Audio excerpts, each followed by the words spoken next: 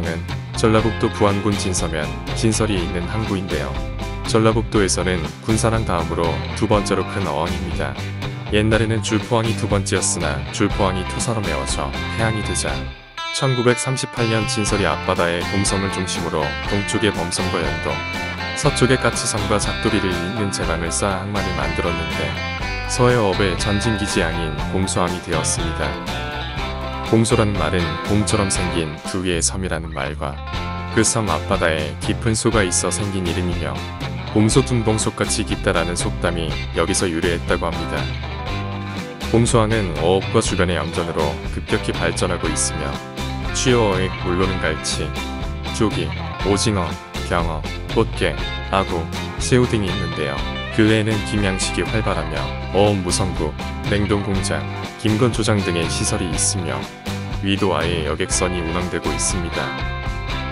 곰소만은 갯벌의 간척률이 약 21%로 우리나라 서해안의 다른 만들에 비해 낮은 편으로서 서해안의 한평만, 가로림만과 함께 해안과 갯벌의 지형이 대체로 자연 그대로를 유지하고 있는 편이라서 환경 보존 가치가 매우 높은 곳입니다.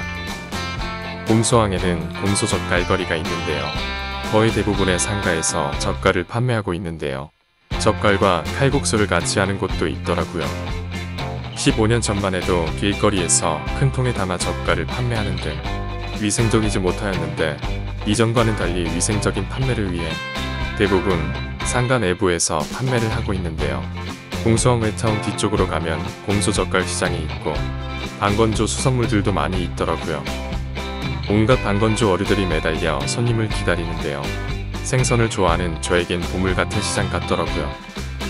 우리나라에서 젓갈하면 강경젓갈, 광천토굴젓, 곰소젓갈이 유명한데요. 그 중에 곰소젓갈은 곰소염전에서 만든 천일염으로 만들어 쓴맛과 짠맛이 덜하다고 하는데요. 그 이유는 곰소 천일염이 타지역보다 쓴맛을 내는 염화 마그네슘의 함량이 낮아서라고 합니다. 젓갈거리를 둘러보면서 젓갈을 시식해 볼 수 있는데요. 이곳에서 여기저기 돌아다니며 맛본 젓갈의 맛은 젓갈 그대로 본연의 맛에 충실하다는 것.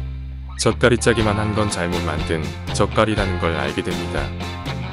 곰소 젓갈 시장에서 많이 팔리는 젓갈로는 갈치 속젓, 조개젓, 오징어 젓갈, 멀개젓, 명란젓, 새우젓, 굴젓 등등인데요. 이곳에 오시면 모든 집에서 택배 주문이 가능하니 명함을 받거나 가게를 사진으로 찍어 두었다가 직접 방문하지 않고 전화 주문하시면 될 듯합니다. 이곳 변산반도 바닷가에서는 우리나라 토종 홍합인 참담치, 사투리로는 섭이라고 불리는 홍합이 많이 잡히는데요. 외관은 지저분해 보이고 까는데 힘이 들지만 우리가 보통 알고 있는 홍합인 진주담치와는 맛에서 확연히 차이가 나는데요.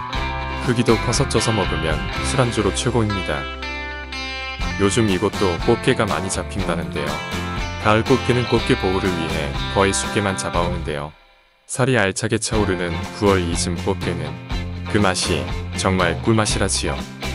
영상 끝까지 즐겨마시고 다 보신 후 좋아요와 구독은 잊지 마세요.